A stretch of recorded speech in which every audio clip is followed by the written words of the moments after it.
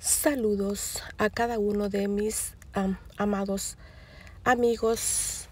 Paso a saludarles y desearles un bendecido día.